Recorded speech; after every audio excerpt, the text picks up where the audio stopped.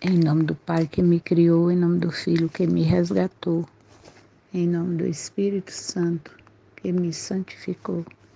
Divina vontade reina na minha vontade. Minha mamãe, eu te amo, tu me amas. Dá-me um gole da vontade de Deus para minha alma. Dai-me tua bênção para que eu faça todas as minhas ações sob vossos olhos maternais. Amém. Vinde, Espírito Santo, vinde, por meio da poderosa intercessão do Imaculado Coração de Maria nossa amadíssima esposa, e Espírito Santo vinde, por meio da poderosa intercessão do Imaculado Coração de Maria, nossa amadíssima esposa. Vinde, Espírito Santo, vinde, por meio da poderosa intercessão do Imaculado Coração de Maria, vossa amadíssima esposa. Suprema Majestade, eu venho em Sua divina vontade, em nome de todos, do primeiro ao último homem que existirá na terra para dar a ti as homenagens que tens direito, as adorações, os louvores, o amor que cada criatura lhe deve, as ações de graça e fazer todas as reparações por todos e por cada pecado. Vem, Senhor, na tua divina vontade. Dou-te a minha vontade humana por meio do Imaculado Coração de Maria, que possui todos os dons e os frutos da divina vontade. Dai-me a tua divina vontade. Vem, divina vontade, nesta ação que estou a fazer e em todas as ações que farei durante o dia. Olá, irmãos e irmãs que vieram ao canal Fiat Voluntas Tua Brasil. Este tema que estou a refletir é do volume 2, data de 14 de julho de 1899, do livro do céu da serva de Deus, Luísa Picarreta. O tema é Jesus não pode deixar quem o ama. A Luísa relata nesse trecho que meu adorável Jesus continua estes dias fazendo-me ver pouquíssimas vezes sua visita. É como um raio que, enquanto se quer seguir vendo, foge. E se alguma vez se detém um pouco, é quase sempre em silêncio. Outra, outras vezes diz alguma coisa, mas assim que se vai, me parece que se Leva essa palavra junto com a luz que me vem de Sua palavra, tanto que depois não recordo nada do que disse. E minha mente fica na mesma confusa, confusão de antes. Que estado miserável, meu amado Jesus, tenha piedade desta miserável. Continuo fazendo uso da minha da sua misericórdia. Agora, para não me alongar, e dizer dia por dia o que passei. Direi aqui tudo junto, algumas palavras que me disse nestes últimos dias. Aqui eu vejo assim que Luísa ela faz suas queixas, né? Por Jesus se deixar ver pouquíssimas vezes. É, até o que Jesus lhe dizia, às vezes não, ela não recordava, ficava com a mente confusa. Até rogava misericórdia para ela e que ele tivesse piedade desta pobre miserável, como ela disse. Aí também a nossa insegurança, né? É, nos leva a agir assim, com queixas, medos, tristes, por querer que as coisas aconteçam como queremos.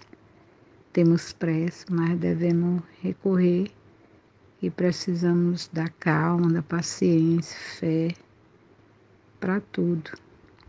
Ocorrer no querer de Deus. Aí voltando a trecho, Luísa relata ainda: Lembro-me que depois de ter derramado lágrimas amarguíssimas, Jesus fazendo-se ver e eu me lamento com ele porque me tinha deixado chamou muitos anjos e santos e, dirigindo-se a eles, disse: Ouçam o que diz, que a deixei. Digam-lhe: Posso eu deixar aqueles que me amam? Ela me amou como posso deixá-la? E os santos concordaram com o Senhor e eu.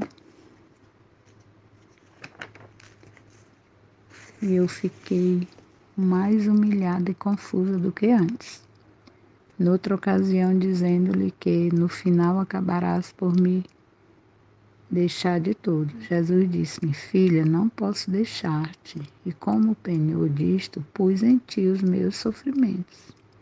Aqui Luísa lembra das lindas promessas de Jesus, que não a deixaria por nada. Ainda mais ali via nela a correspondência né, do amor, da obediência, da humildade. Só faltava ela se desprender da sua própria vontade. Às vezes, diante das nossas dificuldades, recorremos ao Senhor como cegos. O Senhor nos mostrando tudo de bom, as soluções, mas as inquietações nos deixam assim, sem perceber nada, até do amor do Senhor a dúvida. E ainda comentamos: Senhor, não me amas, estou cansado desta vida, não sabendo que tudo isso nos trava em tudo, até retarda em receber a graça. E aí é preciso um arrepender-se muito grande e fazer com que o coração se abra ao Senhor para que Ele reine e faça a sua divina vontade. Aí voltando a ser um trecho, Luísa relata. Depois, encontrando-me ocupada com o pensamento, como permitiste, Senhor, que viesse o sacerdote, tudo poderia ter acontecido entre tu e eu. Em um instante me encontrei fora de mim mesma, estendida sobre uma cruz, mas não havia ninguém que pudesse me pregar eu comecei a pedir ao Senhor que viesse a crucificar-me. Jesus veio e disse-me: Veja como é necessário que o sacerdote esteja no meio de minhas obras. Isto é, ajuda também para cumprir a crucificação. É certo que se não há ninguém, por ti só não podes crucificar-te. Sempre se necessita de ajuda dos demais. A Luísa aqui expressa né, que a sua vontade em tudo teria que ser só ela e Jesus. Mas é necessário o sacerdote, como diz Jesus, para orientá-la. Assim é para nós. Precisamos recorrer ao sacerdote diante dos, do que nos aflige, né? Nossas necessidades, dificuldades, pois ao falarmos, falarmos com ele, nos sentimos, como posso dizer assim, mais leves, a mente mais aberta, o coração se abre ao Senhor, pois o sacerdote, como sabemos, é a pessoa de Cristo no meio de nós. E diante de nossas cruzes, precisamos de alguém para nos ouvir, orientar, até os nossos olhos ter uma visão mais esclarecedora de tudo, isto é, a divina vontade possa vir reinar. Divina vontade, reina na minha vontade. Jesus, eu te amo e confio em vós. Amém, Fiat.